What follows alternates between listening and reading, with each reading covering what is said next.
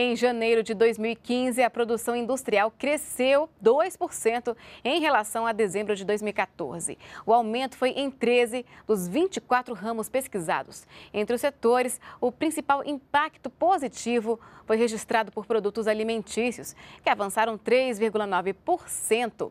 Outras contribuições positivas importantes vieram das atividades de máquinas e equipamentos, metalurgia e máquinas, aparelhos e materiais elétricos.